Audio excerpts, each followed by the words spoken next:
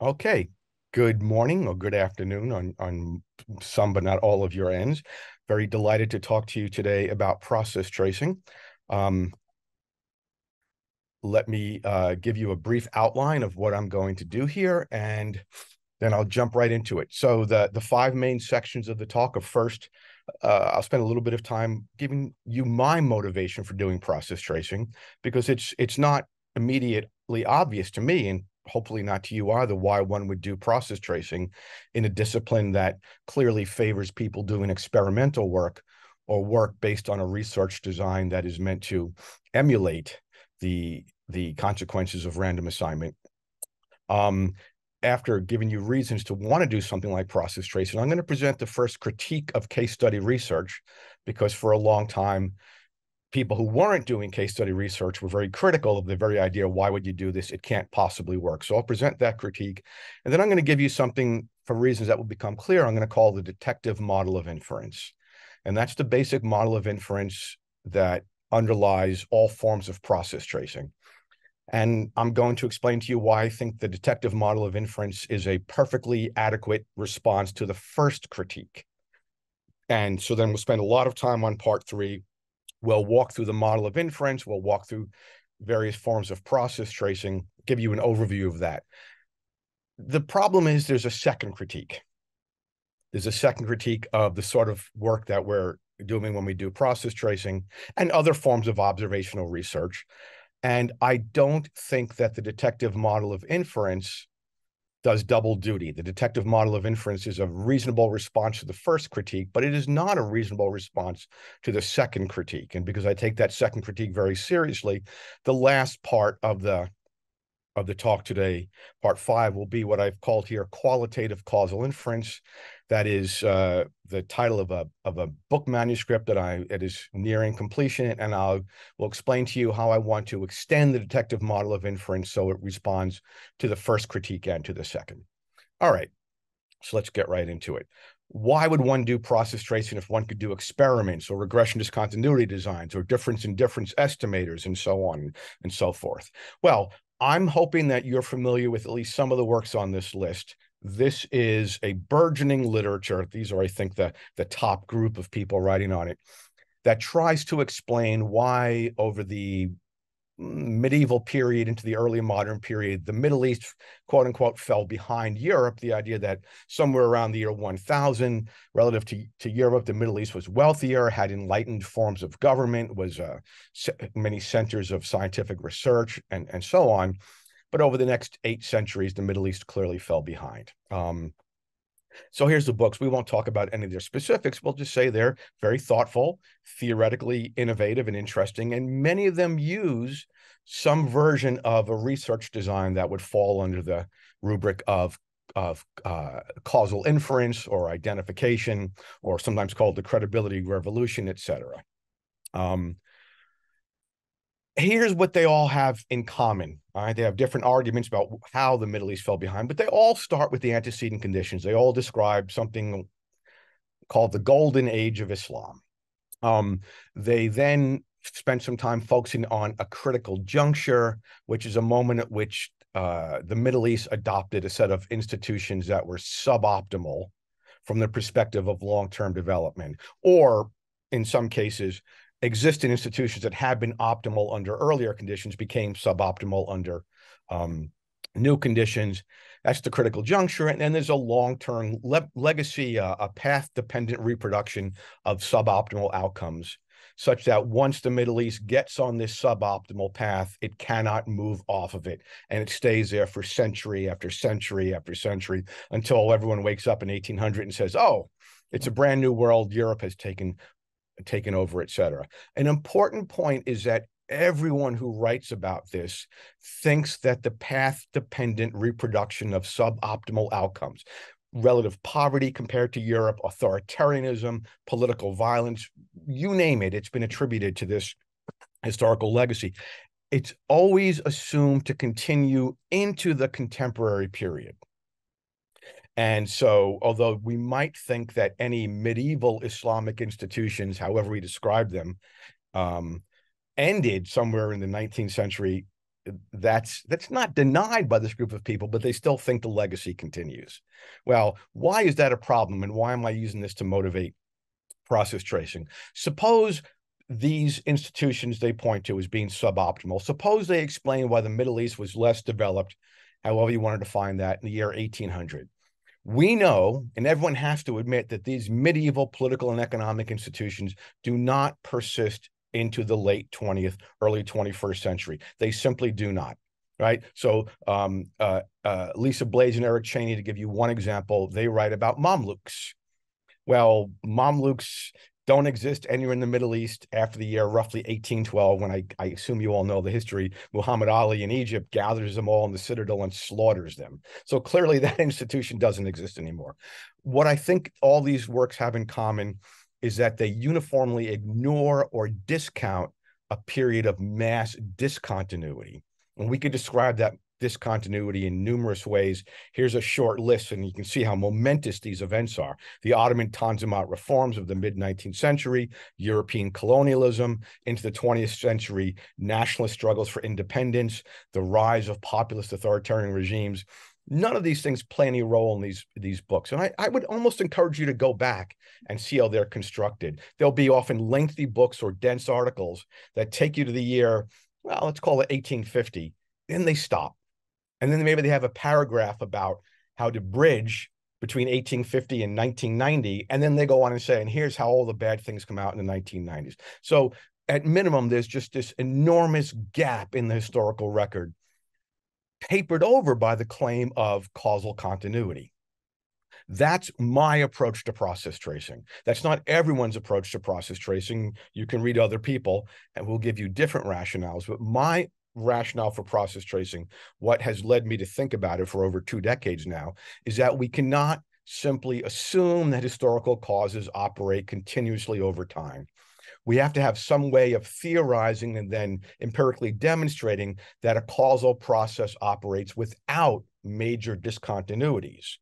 And if you want a definition of a major discontinuity, well, if you ignore the Tanzimat, colonialism, World War One, World War Two, nationalist movement, struggles for independence, and so on and so forth, I think we can all agree informally as a friendly group that that constitutes a major discontinuity. So this next point becomes important for what I'm going to do later in the talk. My commitment to qualitative methods of process tracing is based on my belief that that we can use it as an effort to trace the continuity of causal propagation throughout a hypothesized causal process. Take a moment and think about a physical process of causation, and we would expect that some forms of causal propagation to move continuously across time and space, connecting in a very physical way cause and outcome.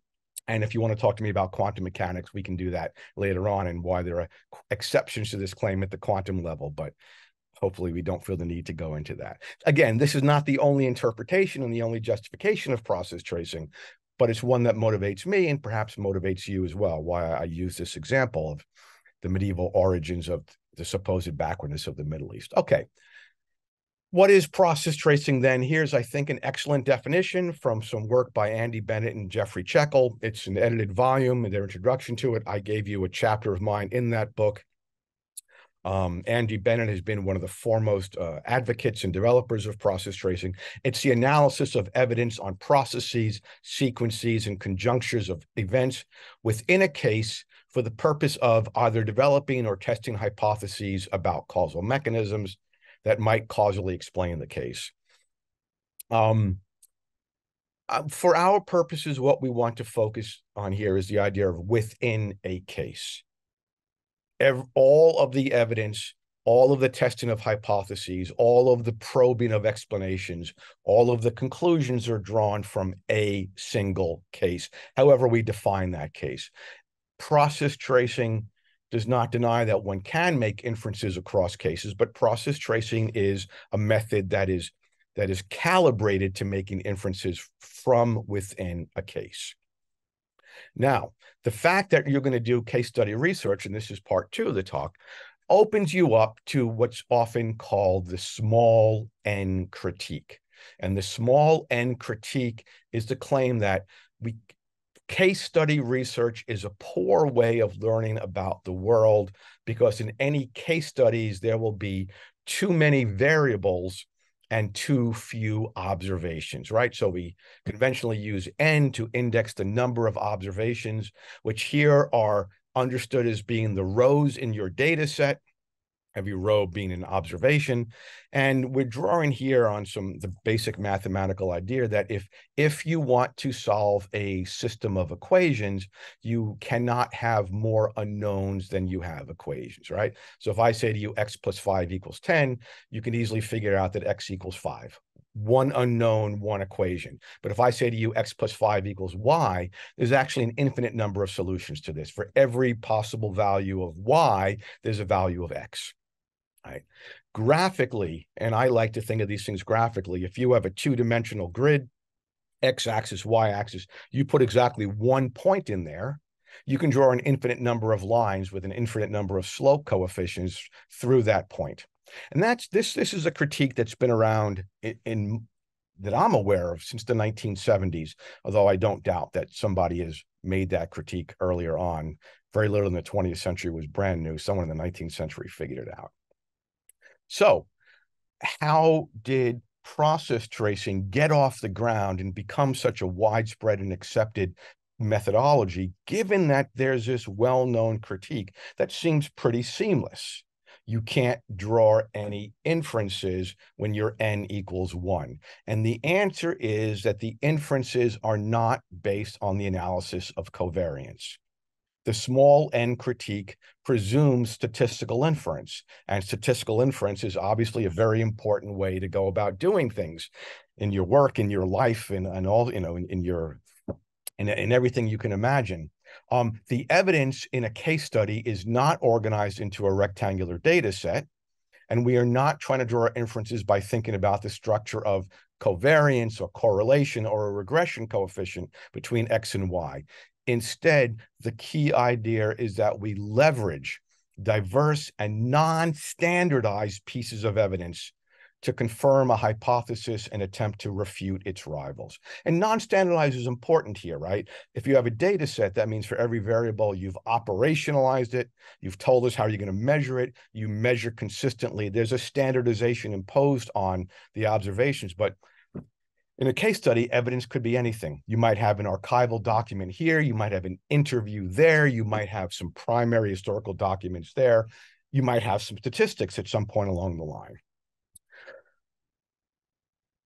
This idea that we leverage non standardized pieces of diverse evidence to probe the validity of different hypotheses in a, uh, a mode of inference that is not based on covariance. Well, we have to give it a name. What is this model of inference?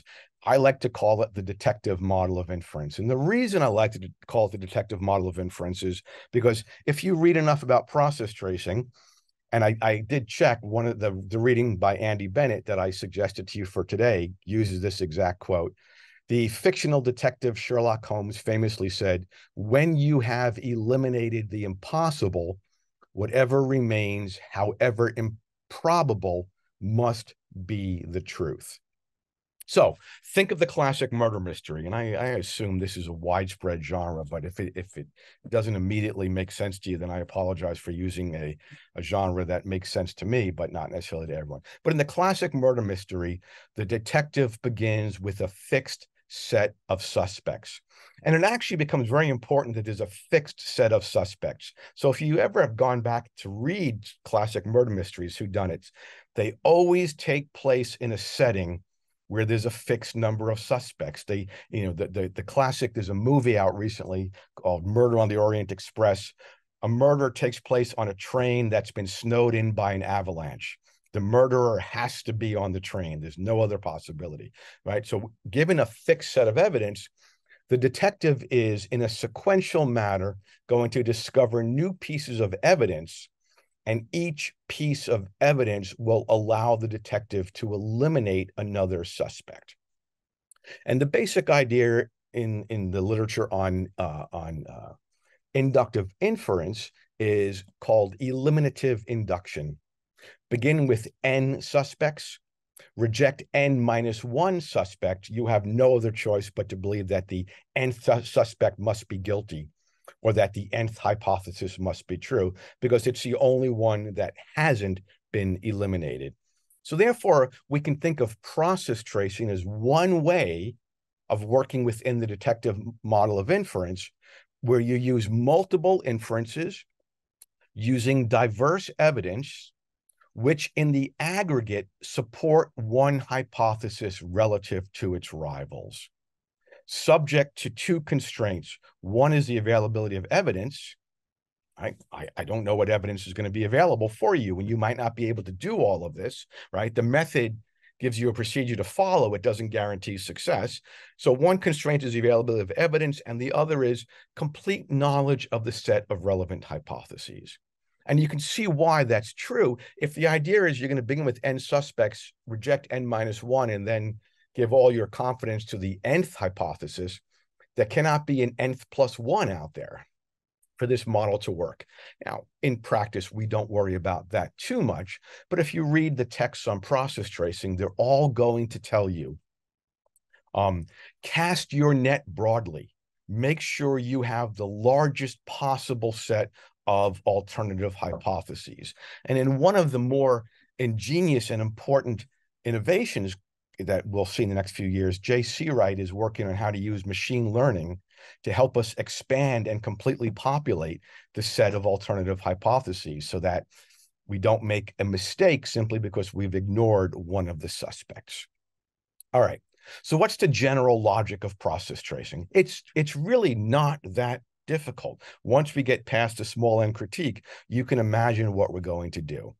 We derive the empirical implications of a hypothesis under the assumption that the hypothesis is true right? It's just an initial assumption. We say, if my hypothesis is true, what should I observe in the world? Right? Those are the implications, they're predictions, and they're the basis of our hypotheses test. And note that the claim, what should I observe in the world, really can be read both as what should I actually observe, but what should I not observe? What types of evidence are inconsistent with my hypothesis? So we have a, a list of observations um, that we're going to use to test a hypothesis. If an observation cannot be made, again, subject to constraints on accessibility of evidence, right? The absence of evidence is not the same thing of, of evidence of absence, after all. The hypothesis fails the test. If I say, if your hypothesis were true, we would have to observe something. We've tried hard, we've not observed it. Then by simple logic, uh, since the observation was the condition for that hypothesis being considered true, the hypothesis fails the tests. And in some instances, we might conclude that failing a single test falsifies the hypothesis entirely. On the other hand, if we do make the observation, your hypothesis says if my if my hypothesis is true, I should observe something. We observe it, but that observation might be equally or partially consistent with other hypotheses as well. If that's the case, then the fact that you pass the hypothesis test doesn't necessarily give a lot of credibility to the hypothesis because it is consistent with other hypotheses as well. Therefore, the final point here that is that evidence that is uniquely consistent with one and only one hypothesis give, can provide strong reasons to confirm that hypothesis. So here's, in a nutshell, three different ways that we can think about the relationship of an observation to a hypothesis test and hence to our judgment about the hypothesis. We can't make the observation. We can make the observation, but it's not unique. And we can make the observation and it is unique to our hypothesis a classic table. And this is really the essence of what we might call classic process tracing or orthodox process tracing. Notice that the column and the the, the, the, the columns and the rows are defined by being either necessary for affirming causal inference or sufficient for forming causal inference. You can we have yes and no on either one and then and then the the chart this is really a you know packed with information and worth your studying later um, I didn't provide the citation for it, but I can easily do that at the end. I can email it to all of you. We have the implications if you pass the test, the implications if you if your hypothesis fails the test, and then the implications for the rival hypotheses. Well, I want to just talk about the main diagonal, number two and number three. Um, because numbers one and four are just combinations of two and three, really. And, and quite frankly, most of the work takes place in the realm of either a hoop test or a smoking gun test. So let's spend a few minutes speaking about each test um, and what it means to pass the test, what it means to fail the test, and what are the implications for the alternative hypotheses. And again, this is a very classic notion of, of um, process tracing, and we'll complicate things a little bit after this. So a hoop test is a test that we consider to be necessary, but not sufficient for causal inference. Why would a test be necessary but not sufficient? I, I, don't mind the language of necessity and sufficiency. It tells us what conclusions to draw, but it doesn't tell us what makes a hypothesis necessary and or sufficient. So the idea is that in a hoop test, the implications of a hypothesis are certain but not unique. By certain, we're saying, by golly, if your hypothesis were, if we're supposed to consider your hypothesis true, you had better be able to make these observations or else. But if you make it, they're not unique to this hypothesis. Other hypotheses predict this. Right. So certainty means the evidence must be observed. The non-uniqueness means if observed, the evidence is consistent with more than one hypothesis. So in keeping with uh, the idea of a detective model of inference in the murder mystery. And for the record, this is how these tests are discussed in the literature. This example, I've just changed the names, but this example is in the early texts. If Ellen murdered David, she must have been in the vicinity of the crime at the time it occurred. That seems to be to be an absolutely certain implication if she were not in this vicinity, she could not have directly murdered David. I know what you're thinking.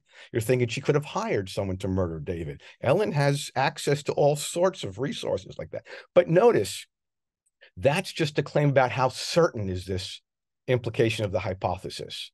So we're just going to make it as the hypothesis is not that Ellen hired someone, but that she was directly responsible for the crime. So now we have this hypothesis. Now we have an observable implication. If the evidence is that she was not in the vicinity, the hypothesis fails the test and is rejected. That seems pretty clear. If she wasn't there, she could not have committed the physical act of murder.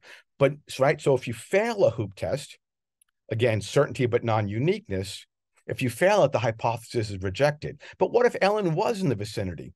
Well, let's assume that there were other suspects in the vicinity also. Then passing the test does not confirm the hypothesis because other suspects who were in the vicinity could also have been the murderer, and therefore this evidence is consistent with other hypotheses. Now, that's, of course, just kind of fanciful, clearly fictitious, but think about it. If you say X is a cause of Y, what is a hoop test? There must be a bivariate correlation of X and Y. And if you're thinking to yourself, well, I can imagine circumstances in which that's not true, I'll say, I agree with you. We could question the idea of certainty here, right? Maybe, maybe there is, maybe there are special circumstances, but let's not complicate things too much. We want to understand the basic point. If we don't see the bivariate correlation between X and Y, then under most circumstances, we're going to say X could not have been a cause of Y. You can come back and talk to me about measurement error. You can talk to me about unique circumstances in which X is a cause of Y, but X and Y won't be correlated. I can imagine a few odd circumstances. You're all creative people, I can imagine too. On the other hand, if you have a bivariate correlation between X and Y, nobody says, we're done, X cause Y. So that's that's just a way of thinking about standard practices in terms of a hoop test. So this, in some sense, is nothing new there. It's just that we're not using the logic of statistical inference. Here's another way for you to think about hoop tests. And I'm doing it this way to prepare you for where we're going to go next, which is to dip our toes briefly into the frigid waters of Bayesian inference. The basic logic of hoop test does not require what I wrote here, but I find it helpful to say this. Let's force you to write down your prior belief in the hypothesis before you look at the evidence. And let's, for the sake of easy argument, say that you give the probability that the hypothesis is true a, a, a probability of 0.5 because it's basically a coin flip to you. And that's before you've looked at the evidence. If after you have a failed hoop test, then you have to update that probability. So we get the conditional probability, the probability that the hypothesis is true, given the evidence, now should be going towards zero. Maybe it isn't zero. Maybe we we we we we move down to 0.1 or 0.05 because you can imagine some special circumstances. But the point is, we're going to that our posterior probability is going to be lower than our prior probability. What happens if you pass the hoop test? Well, technically speaking, because the hoop test is does not have the quality of uniqueness, your posterior probability should be approximately the same as your prior probability. This is, I think, something about which we can have some discussion. I might want to say, okay, you have evidence consistent with your hypothesis, but it's consistent with all those other hypotheses as well. Why do we think this matters? That your posterior probability should remain exactly the same at 0.5. You might counter, look, I exposed my hypothesis to a test. It could have been proved wrong. It wasn't. You have to allow that that gives us at least some increment of increased confidence. I don't think we need to debate that very much, but you can see how we think about that. Notice that it's not entirely clear what the implications are for the alternative hypotheses, right? If you fail the test, presumably that makes the other hypotheses somewhat more credible, but we don't have a formal way yet of describing how we think about that. And if you pass the hoop test, it's not really clear what to say about the other hypotheses as well. So we're starting to see a few limitations of the orthodox view of process tracing. And again, this is to help you understand why people have gotten very excited about the transition to Bayesian analysis. Smoking gun test is somewhat the the, the, the obverse. It's a, a test that we consider to be sufficient but not necessary. It's sufficient because the evidence is unique to that hypothesis, but it's not necessary because if we don't observe that evidence, the hypothesis might still be true. So imagine a videotape recording of Ellen murdering David. I think we're all going to agree that this is sufficient to incriminate Ellen right? Because that hypothesis really doesn't seem to be, that evidence doesn't seem to be consistent with any other hypothesis other than the fact that Ellen has homicidal intent and acted upon it. But what if we don't have that evidence? The fact of the matter is, no one is exonerated from a crime um, because we say we don't have a videotape recording of you committing that crime right? It's not a necessary implication of the hypothesis, right? So if you fail the test, if you don't find smoking gun evidence, well, we just say, okay, let's move on and look at other things. But if you pass it, you're going to be kind of tempted to say, okay, we're done. Um, um, and so on. Um, And again, think about the bivariate correlation. The bivariate correlation between X and Y would not be smoking gun evidence.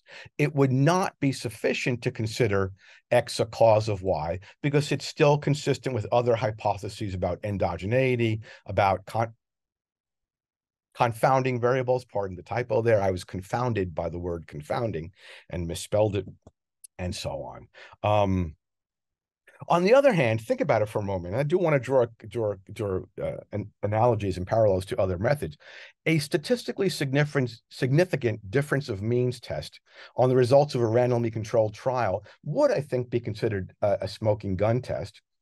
Um, because it's sufficient to confirm that X is a cause of Y in this study, because the experimental design simultaneously rules out, at least in principle, other sources of bias. If you have random assignment to treatment, then in principle, no confounding variables can affect assignment.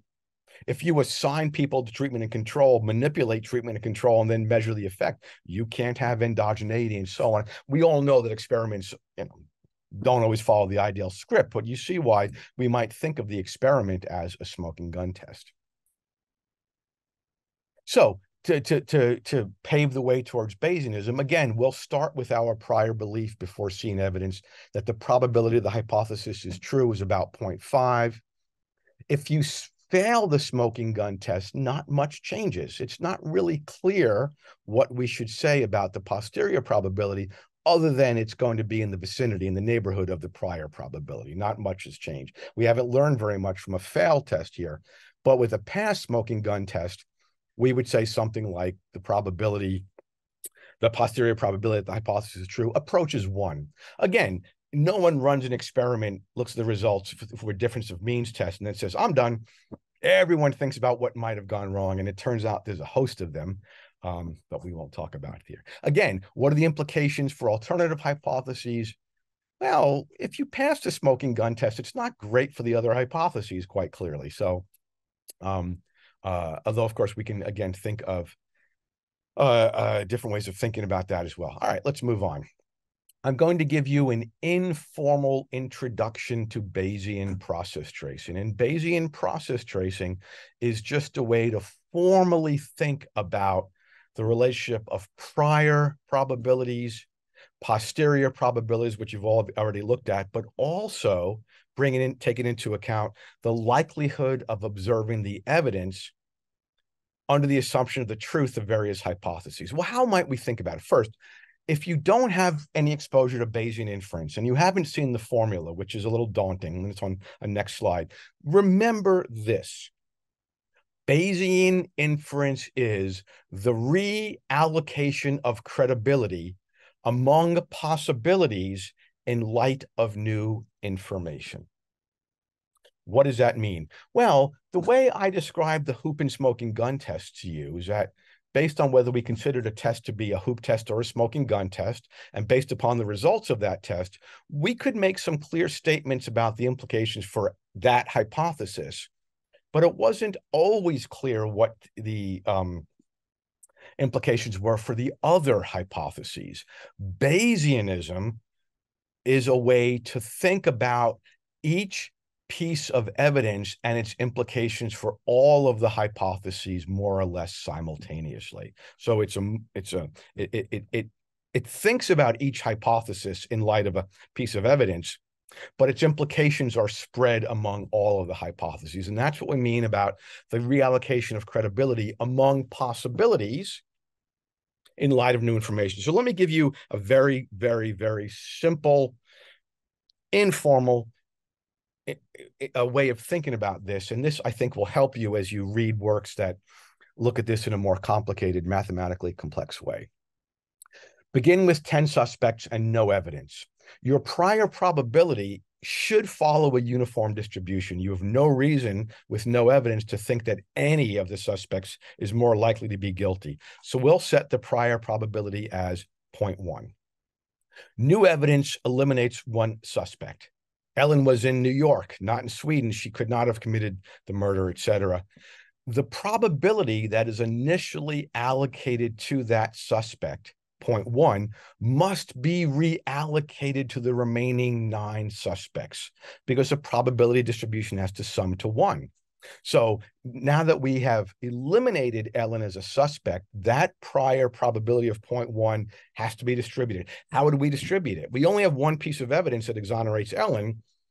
Um, and therefore, we maintain the uniform probability distribution and we say, all right, now our nine suspects have a posterior probability of 0.11, where posterior just means I've updated the probability in light of new information.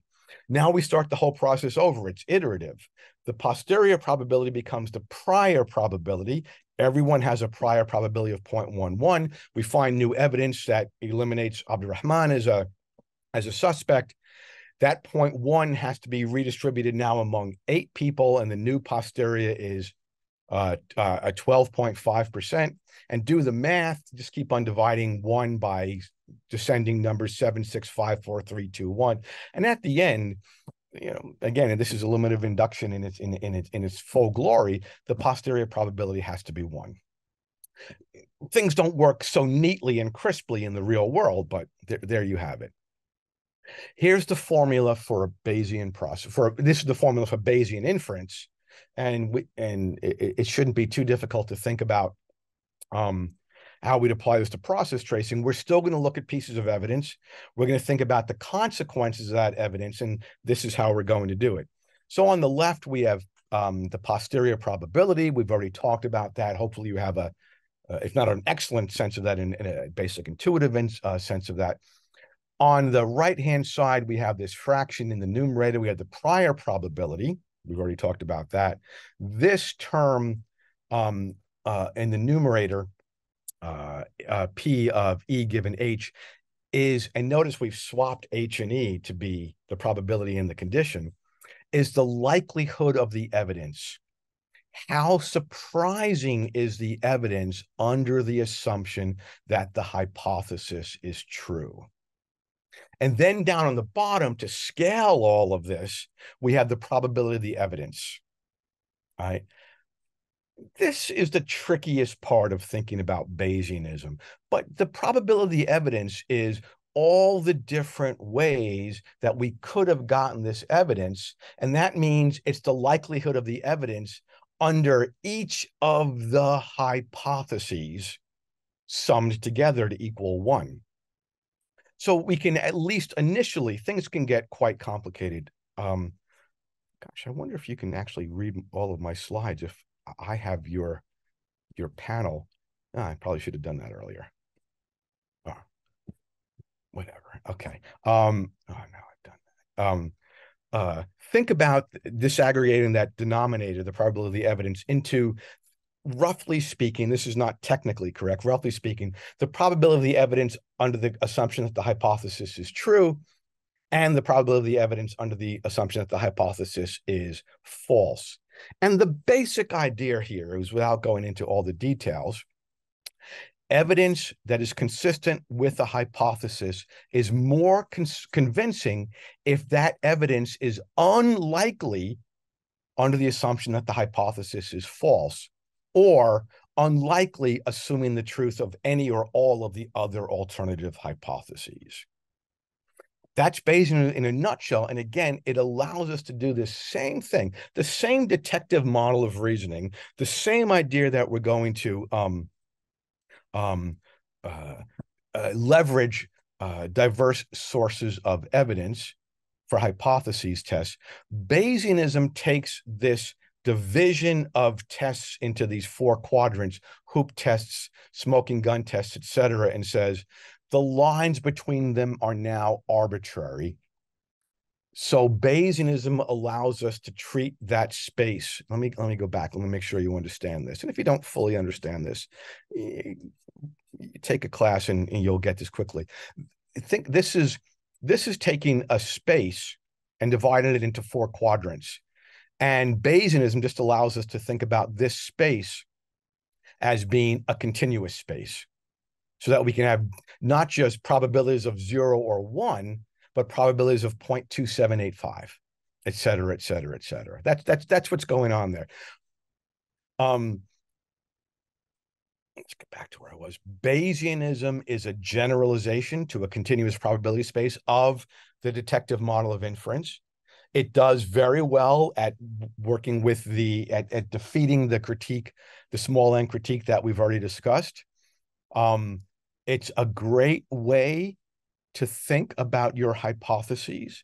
It's a great way to think about the likelihood of the evidence under the truth of the hypotheses. It's a great way to do to think about the implications of a test for all of your hypotheses simultaneously. I endorse it. I have no problem with Bayesian process tracing. Um, I'm sorry now. Uh, what are the limitations of process tracing as I have described it so far? And I hope you see that my my presentation at this point has been entirely sympathetic and supportive of the very idea of process tracing. There's no sense in which I'm critical of process tracing or even a, of these individual ways. Well, first thing to notice is that there are many versions of process tracing. And if we have many versions of process tracing, then we have many different standards, not necessarily rival standards, but we have different standards for how we think about uh, a hypothesis in light of evidence. And that means we're going to have different practices. So we have orthodox process tracing, which is the way I first introduced it. We have implicit Bayesian process tracing, which is what Andy Bennett has mostly done. Um, for example, in the chapter I recommended you read, he he he he mentions that formula, but at no point does he go through all the steps involved. We have something called explicit Bayesian process tracing. That's sort of the newest flavor on the market. Um, I can give you citations to read on that, or Ellen can give you citations to read on that. Um, uh, and it takes the mathematics of, of Bayesianism very, very seriously. It will ask you to convert your, your odds ratios into logarithms. It will ask you to think in terms of decibels, in terms of how, how you know, how loud is the evidence, et cetera, and so on and so forth. There's something called sequential process tracing. Um, there's process tracing that does explicitly talk about causal mechanisms. There's process tracing that doesn't talk about causal mechanisms. There's process tracing that rejects the very idea of causal mechanisms. There is unfortunately something I would call nominal process tracing. Scholarship that invokes the term, but if you go and read the work, it will say I'm doing process tracing, which just means they're looking at a single case. But you won't find an explicit statement of a hypothesis. You won't find explicit hypotheses tests. I and some others who work on process tracing have begun to get worried about this, right? Um, finally, this process tracing as theory development. Oh, another mistake here. I'm sorry. Process tracing as theory development versus process tracing as theory testing. Right? I don't happen to like that distinction. If you develop a theory, you should test it. But someone could say they're doing process tracing, lay out a theory, give you some evidence for it, but never explicitly test it. And when you say, well, why didn't you test it? Their answer could be, well, process tracing in the literature is used for theory development and for theory testing. I'm doing theory development. I don't know what to do with that. I, I simply don't know what to say. I worry in part about conceptual stress stretching. If too many different things all count as process tracing, the method risks being stripped of all of its valuable substance, and we're left with something like methodological anarchy. It also means some people are going to work really hard and methodically and rigorously to test their hypotheses, call it process tracing, and it's not clear how they claim to have done superior, methodologically superior work to someone who just uses the term but doesn't do anything. We don't have enough standards, is one way to think about that. All right. Um, the second challenge, um, and I know I've gone on a little bit. I'll try to wrap things up in 15 to 20 minutes. Here's where we're going to get into what I think about things. And you don't, you, you know, you need to know something about process tracing. You don't need to know what I think about things. But I'm here, you're here, we might as well look forward a little bit. If you have read any of the literature on causal inference, you have come up with something against something called the fundamental problem of causal inference. And that's because a causal effect is defined as in equation four. The unit level causal effect is defined as that the outcome for that unit under treatment from which we subtract the outcome for that unit under control. And the difference between those two outcomes, these two measures, will be the difference the cause made. The problem is that we cannot observe a single unit under treatment and under control at the same time. We can observe one or the other, but not both. And therefore, we cannot do this very simple act of subtraction. This is properly understood as a problem of missing data, that either the outcome under treatment or the outcome under control will be a counterfactual.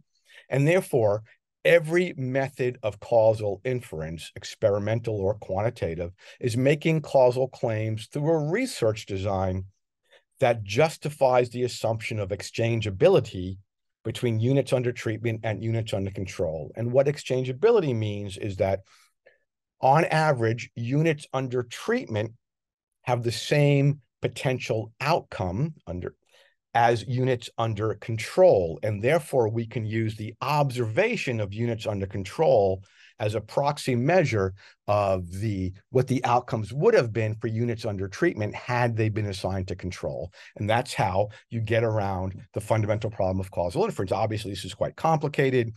It requires a certain number of assumptions, some of which might be less plausible than others, etc. But the point is, the fundamental problem of causal inference says you can't do unit level causal effect. And that's kind of a problem because if you think about what we've been saying about the detective model of inference, the detective model of inference is taking, making a causal inference based on a single unit. That's the whole point. So what do I think about this? I think the detective model of inference is an absolutely satisfactory response to the small n critique. I also think that for a lot of people who do process tracing, once they had a response to the small n critique, they stopped caring about the literature on causal inference. They stopped caring about experimentalists and they stopped caring about people doing quantitative work, just thinking we have met their critique. They're doing one thing, we're doing something else. We don't have to listen to them anymore.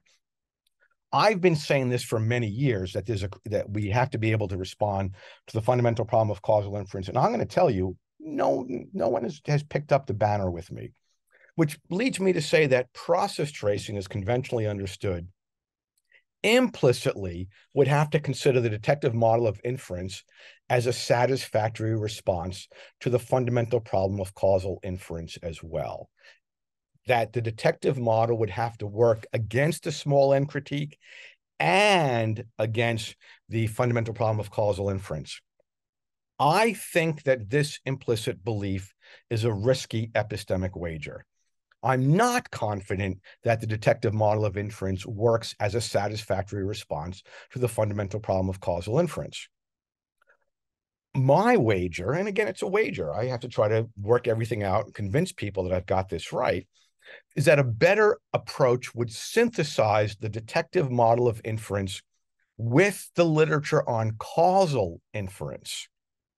So, what would we do? We'd maintain the detective model of inferences um, idea of assessing the relative consistency of hypotheses with diverse sources of evidence, we wouldn't move over to a structure of uh, the analysis of covariance, but we would pay explicit attention to causal structures. What do I mean by this? The last seven slides, as you see, are really my working out this the, the implications of this last couple of words paying explicit attention to different causal structures.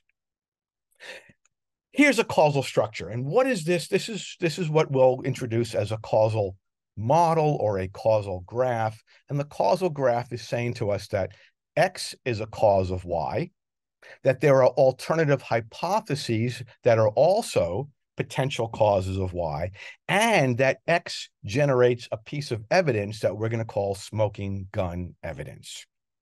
In this scenario, observation of the smoking gun evidence is sufficient to conclude that X is a cause of Y, not the alternative hypotheses.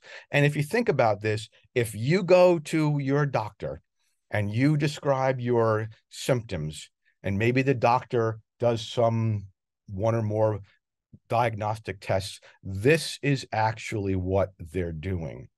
The diagnostic test becomes more or less smoking gun evidence, more or less, because I'm sure you all know that any diagnostic test has a possibility of a false positive and a possibility of a false negative.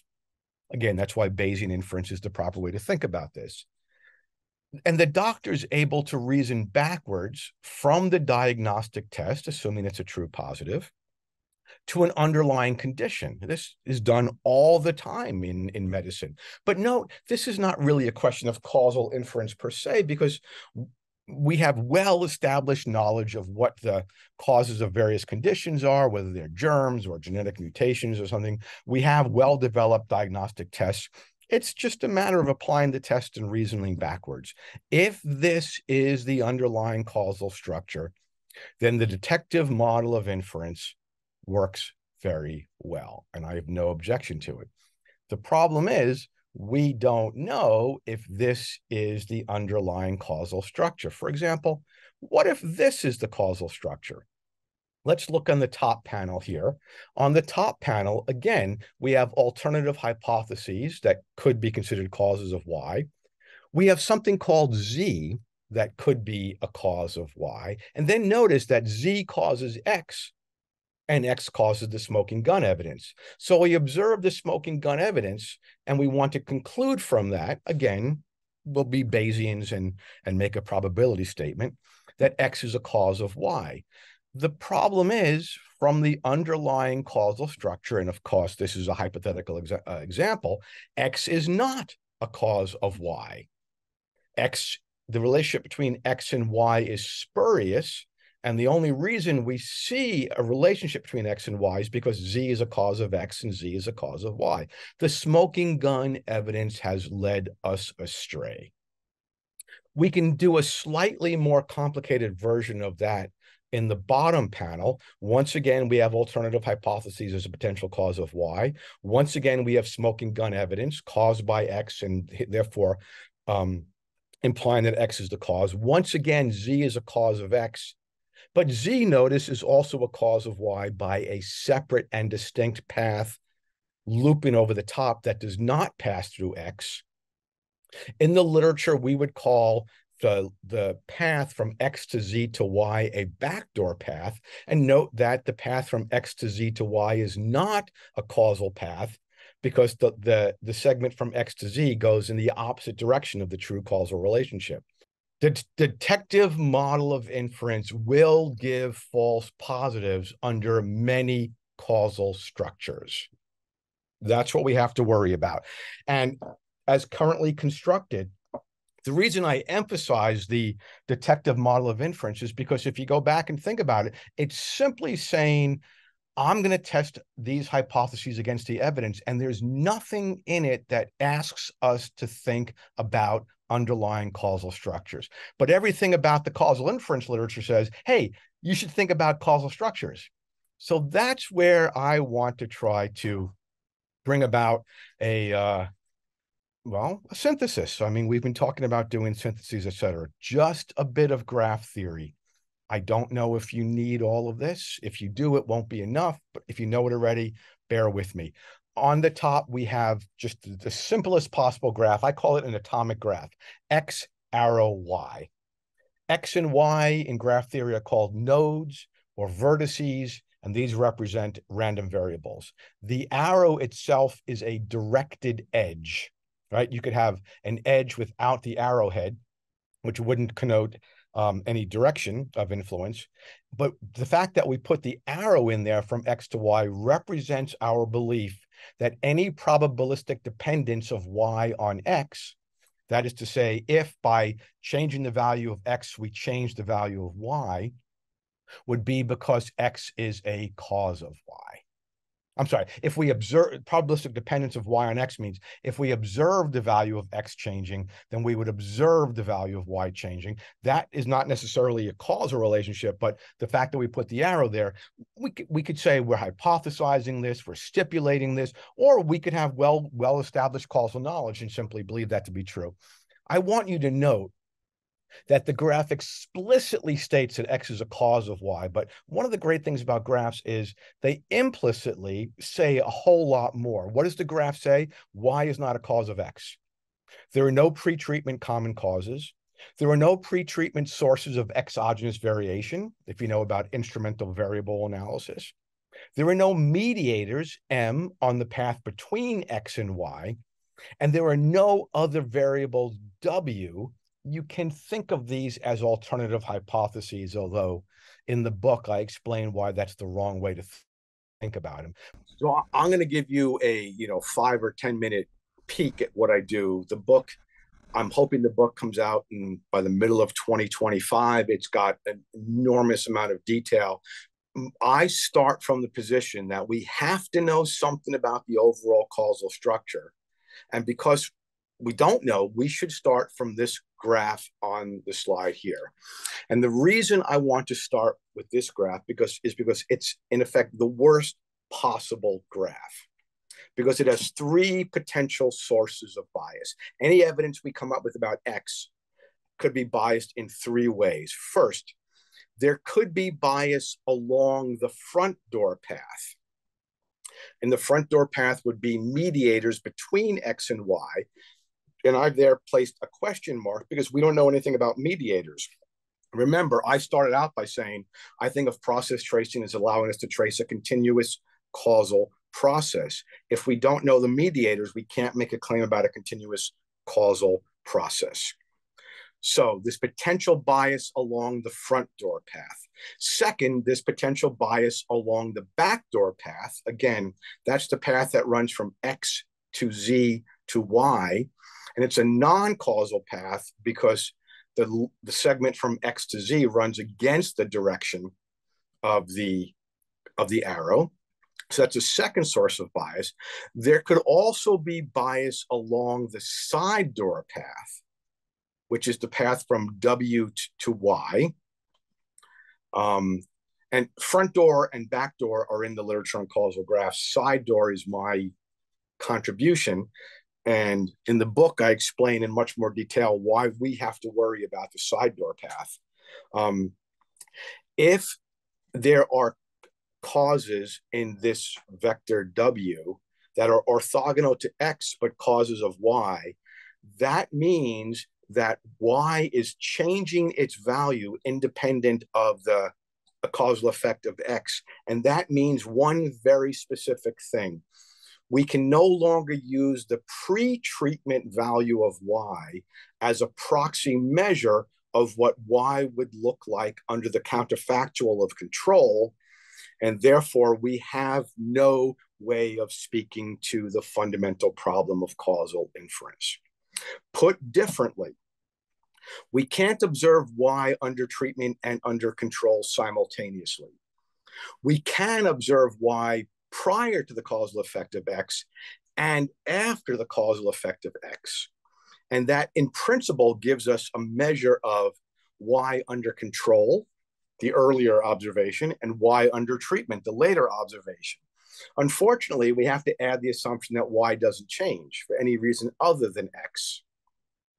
Well, if there are um, variables or causes in this vector W, that means that Y is changing for reasons having nothing to do with X. And that means we can no longer use the pre-treatment value of Y as a proxy measure of the post-treatment value of Y counterfactually under control. That's a mouthful, I know, but just giving you an idea that there are three potential sources of bias and then our job is not just to consider evidence per se, our job is to check and see whether we can get rid of these sources of bias.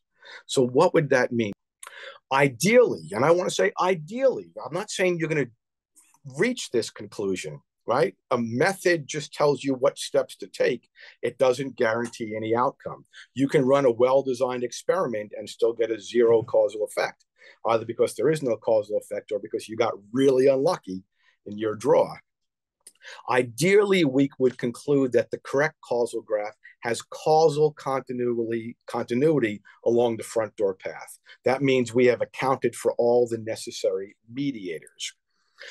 Second, and again, ideally, we would conclude that the set of pre-treatment common causes is an empty set. That means if Z is an empty set, there cannot be bias along the backdoor path because bias along the backdoor path requires that there be a Z. Third, we would conclude that the set of orthogonal causes is also an empty set. And that would yet allow us to use the pre-treatment value of Y as a proxy measure for the missing counterfactual of Y under control. That's the ideal world. I'm not telling you you get that because I don't know if that's true. Remember, we don't know what the true causal structure of the world is. Whether or not you reach the ideal depends upon what the world looks like and what we can infer about the world given our evidence. So this is a statement about a standard. It's not a statement that says, follow my procedures and you get this standard. what would the standard look like?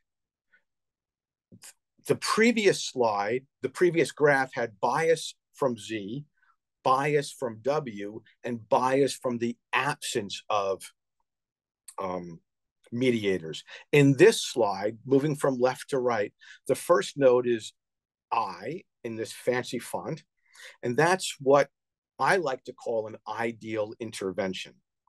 And an ideal intervention is something that influences X, but doesn't influence Y by any other path that doesn't pass through X. It could be random assignment. It could be a naturally occurring random assignment. It could be an instrument in the standard econometric sense of the world, word of an exogenous source of variation. All we're saying is we can account for X by a prior variable that does not induce any bias. Third, there's no W.